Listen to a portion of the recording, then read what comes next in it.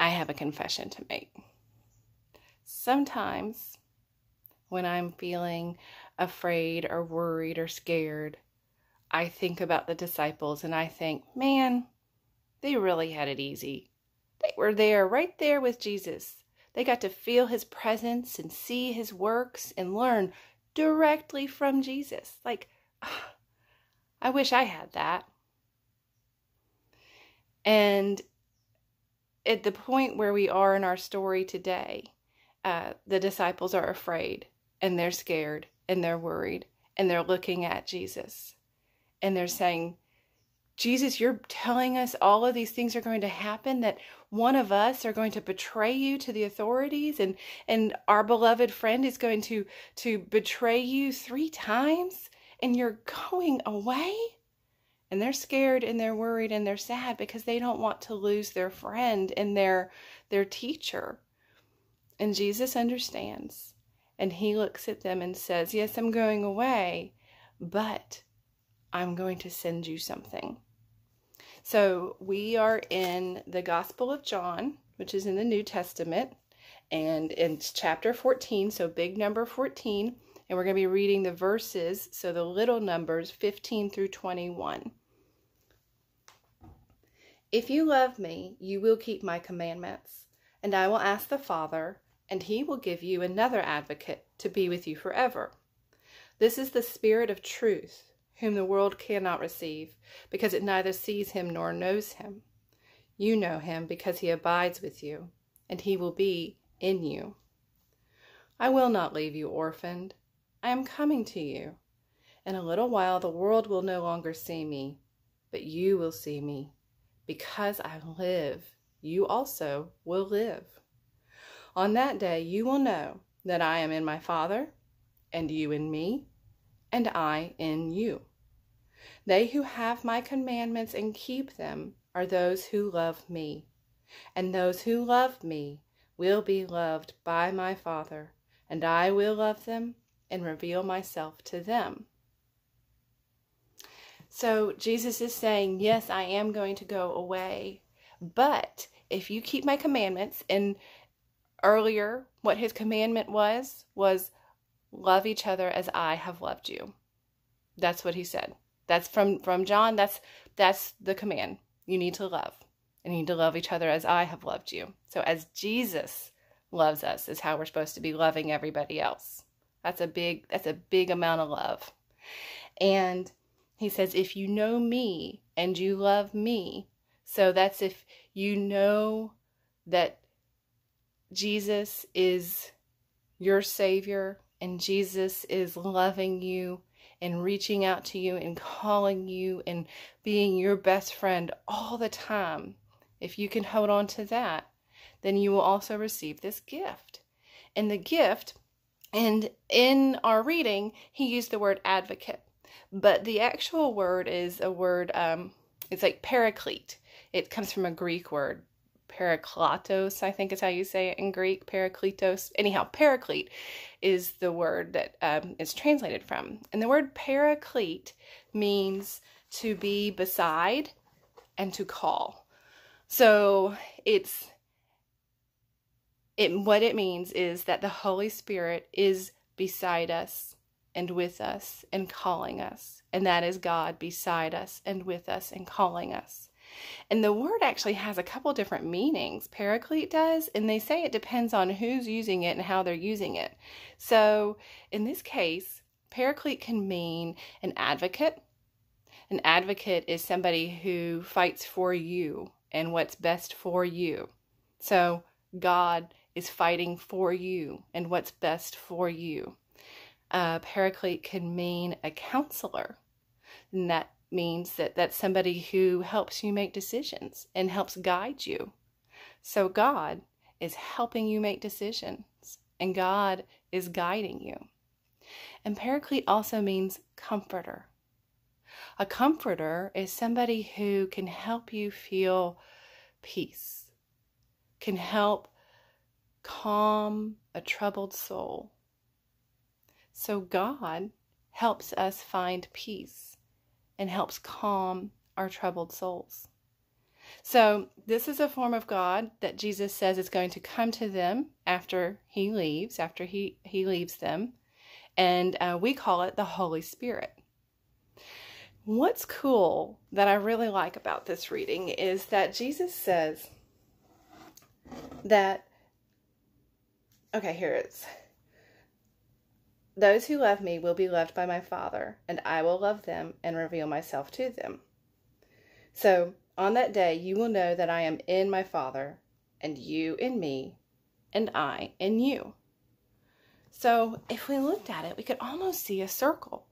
So, Jesus is in God, and God is in you, and you are in Jesus. And it's, it's Jesus' way of saying that because we have this Holy Spirit flowing through us and around us and supporting us and being our advocate and our counselor and our comforter, then God is with us all the time. And we are with God all the time. It's important to see that you are a very important part of the relationship with God your interactions with God, the way you talk to God, the way you worship God, the way you sing songs for God, the acts that you do for God.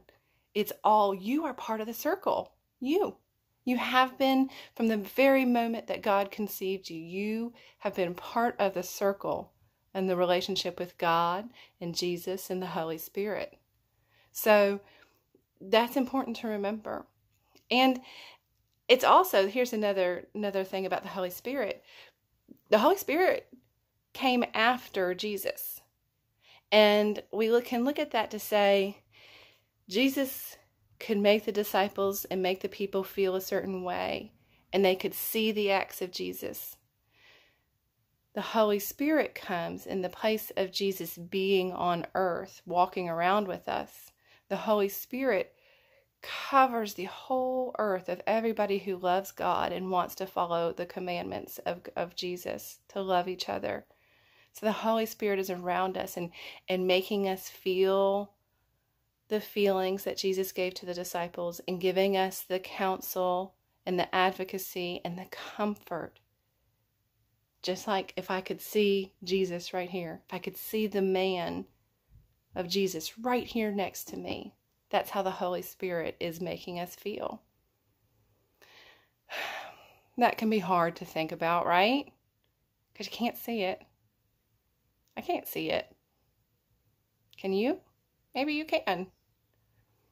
And one way that we talk about that is we think about things that we can't see around us, but we know they're they are there. And the reason we know they are there is because we can see what they do and we can feel what they do. My favorite example is the wind. The wind outside. If you go outside, can you see the wind? And I mean, can you actually see air moving? You can't see air moving, but you can see what it does. You can see it moving through the limbs of the trees. You can see it blowing the grass. You can see it moving things around you. You can feel it. You can feel it on your skin. Sometimes it's so blowing so hard that you can feel it in your eyes and you have to squint your eyes a little bit. I can't see the air. I can't see the air moving, but I can feel it and I can see what it does around me. And that's one way we can think about the Holy Spirit, the Paraclete that Jesus sent to earth to be with us all the time. I think that's a cool way to think about it. And I have a craft. I put it on the email too, so y'all can do it. And again, it's a craft with things you can do in your house right now. So, see it? made a pinwheel and actually does work. It does work. And um, it actually works if you just run around the house with it too. We, we discovered it'll spin around and it's fun. Um, or you can take it outside. It's supposed to be a really windy day today, so might be able to get to play with our pinwheels outside. Um, and it's just a piece of paper and marker. It says to use a thumbtack. I don't have any thumbtacks, so I use like a little tiny little nail. Um, and then a pencil, just a regular old pencil with an eraser. You can put it in there. And you can play with your pinwheels outside and you can see that the pinwheel will move. You can't see what's moving it. You see the pinwheel moving, but not what's moving the pinwheel. So do that and think about the Holy Spirit all around you and comforting you and being your advocate, fighting for what's best for you and counseling you, helping you to make good decisions and be the best version of you. And that's God around us all the time. So when I think about that, it makes me realize that I have no reason to be jealous of the disciples that got to be with Jesus on earth. I mean, yeah, it still would have been a really cool experience, but I have God with me all the time. I don't have to be in the same room with Jesus incarnate, with the, the man Jesus. I have God in my heart, in my mind, next to me, around me, no matter what I'm doing or where I am. I think that's really cool. I love God so much for doing that for us. That's a beautiful gift.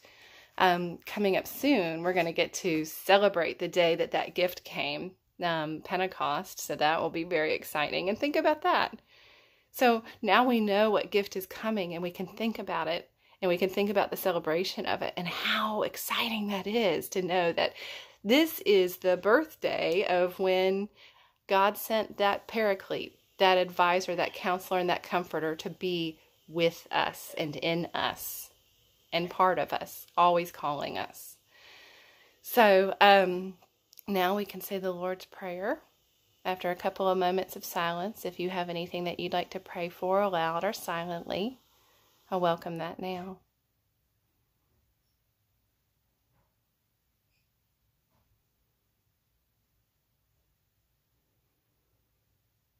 God, thank you for sending the Holy Spirit, and thank you for being with us and around us and part of our lives all the time, even though we can't see you with our eyes. Thank you for helping us to know that you are there. Our Father, who art in heaven, hallowed be thy name. Thy kingdom come, thy will be done on earth as it is in heaven. Give us this day our daily bread. Forgive us our trespasses as we forgive those who trespass against us. Lead us not into temptation, but deliver us from evil. For thine is the kingdom, and the power, and the glory, forever and ever. Amen. So now would be a good time you could sing Jesus Loves Me, or one of my most favorite hymns is Breathe on Me, Breath of God.